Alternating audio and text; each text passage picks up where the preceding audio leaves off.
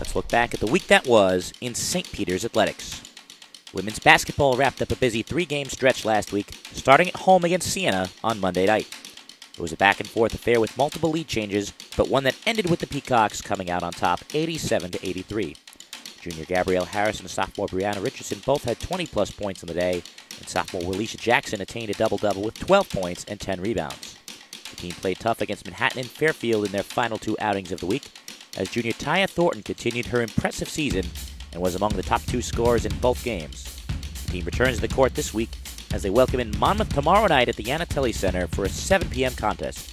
They'll also travel to Iona next Monday night. The track and field teams competed at the Great Dane Classic over the weekend in Staten Island, where several Peacocks put together tremendous performances.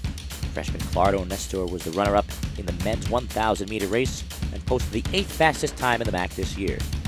Fellow freshman Jared Gentles was a top 10 finisher in the men's 400 meter. Sophomore Daniel Jean Baptiste was a top 30 finisher in the 200 meter dash. On the women's side, freshman Bernetta Gossier placed in the top 20 in both the 60 and 200 meter dashes. The combination of seniors Avaswahi and Oneni Albert were part of the top 25 in the 200 meter dash as well.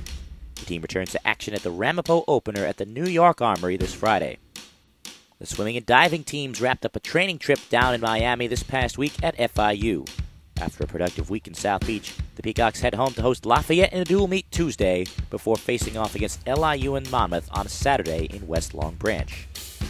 Finally, the men's basketball team played a pair of conference games over the week starting on Thursday night in Albany, where the Peacocks battled Siena in a tight tilt. Freshman Aaron Estrada led the way with 13 points, while senior Quinn Taylor had 7 rebounds in an eventual 3 point Saints victory.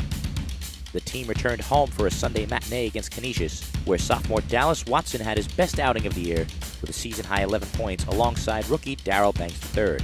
Freshman Doug Edert was also in double digits, with the team leading 13 points, but the Golden Griffs rallied late to take a four point decision over the Peacocks. St. Peter's will look to get back on track this week as they hit the road for two games at Fairfield and Quinnipiac. Follow the Peacocks on Twitter and Instagram at SPU Athletics.